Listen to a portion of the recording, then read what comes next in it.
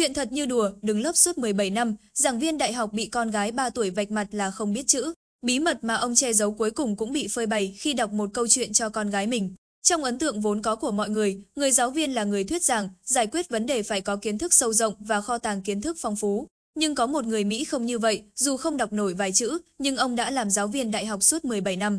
Bí mật mà ông che giấu cuối cùng cũng bị phơi bày khi ông đọc một câu chuyện cho con gái mình nghe.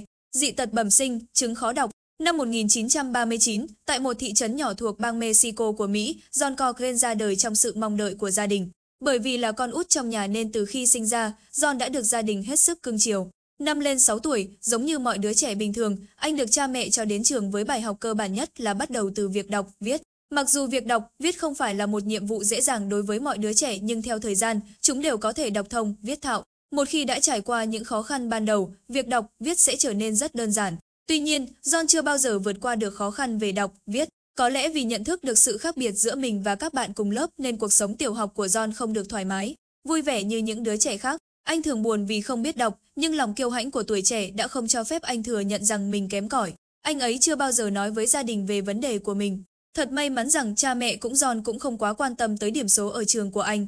Dù con trai thường xuyên bị điểm thấp, họ cũng vẫn động viên và không bao giờ đổ lỗi cho anh về việc này. Sự bao dung và cởi mở của cha mẹ đã giúp John lớn lên trong bầu không khí thoải mái, vui vẻ và có thể bảo vệ những bí mật của mình. Quyết tâm che giấu khuyết điểm. Càng lên cấp học cao hơn, việc che giấu chứng khó đọc của John càng khó khăn hơn. Những điểm số ở trường khó có thể cải thiện, do đó, John đã nghĩ ra một cách, anh trở thành một học sinh cá biệt, nghịch ngợm. Là một học sinh hư dù có bị điểm kém, John cũng thoát khỏi mọi sự nghi ngờ về khả năng học tập.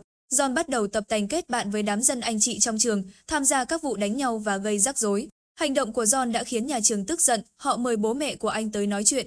Nhưng thay vì trách móc, bố mẹ John cho rằng đó chỉ là giai đoạn nổi loạn bình thường của tuổi trẻ nên quyết định chuyển trường cho anh. Ở ngôi trường mới, John cũng định giả vờ là một học sinh hư, nhưng trước thái độ bao dung của cha mẹ và việc họ sẵn sàng chuyển trường cho anh, John nghĩ đã đến lúc phải thay đổi chiến thuật. Anh cố gắng để trở thành một học sinh bình thường với số điểm học tập trong bình thường.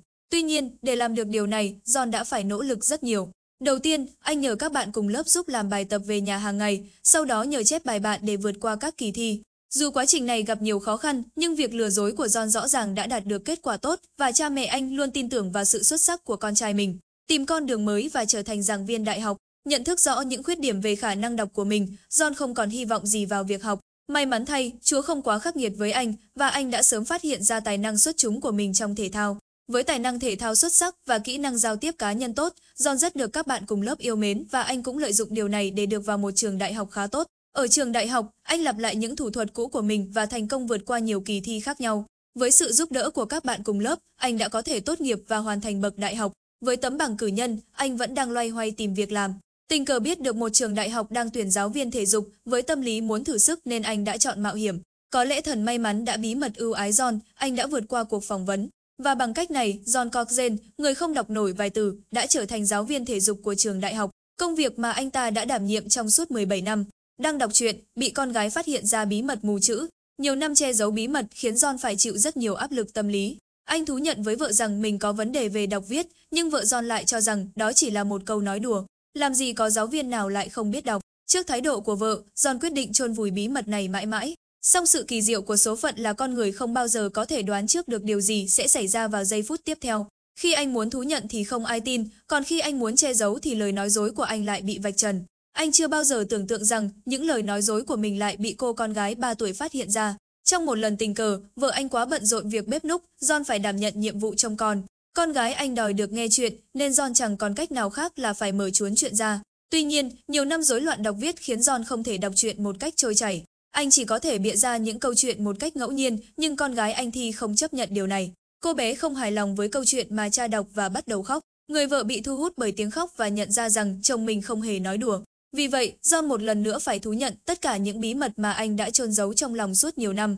Được vợ động viên, John quyết định nói với mọi người về chứng bệnh của mình. Khi ngôi trường nơi anh làm việc biết được sự lừa dối này, họ đã cho anh ta nghỉ việc. Dù bị mất việc, nhưng John không hề hối hận, thay vào đó anh cảm thấy thoải mái chưa từng có vì không còn phải che giấu bí mật gì nữa. Sau này, John đã dựa vào sự nhạy bén của mình để lập nghiệp trong kinh doanh, gia đình anh rất vui mừng vì sự trung thực và dũng cảm thừa nhận của John. Trên thực tế, khuyết điểm không có gì đáng sợ. Điều đáng sợ là bạn không dám trực tiếp đối mặt với khuyết điểm của mình. Chính vì để che giấu khuyết điểm mà John đã để cuộc đời mình bị dày vò bởi những lời dối trá. Với sự động viên của vợ, sự lựa chọn của anh chắc chắn là đúng đắn, anh đã dám thừa nhận sai lầm và đối mặt với những khuyết điểm. Điều này khiến anh không còn phải lo lắng và mở ra những cánh cửa mới cho tương lai của mình.